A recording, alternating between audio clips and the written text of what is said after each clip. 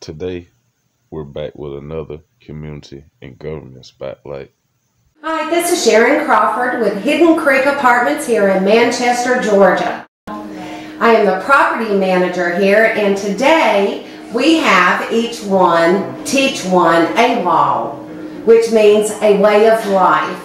Giving away book bags and school supplies to our residents and uh, the children here of Manchester, Georgia in our wonderful community here at Hidden Creek Apartments. We provide backpacks and school supplies to the kids in this community. We will be serving other communities, so if you guys are interested in us coming to a community near you, please reach out to us via Facebook. Uh, you can find us at uh, Each One Teach One A Way of Life. Uh, that's A-W-O, A Way of Life. Or you can find me on my personal Facebook page, Mr. Ferguson or Jeraud J. Ferguson.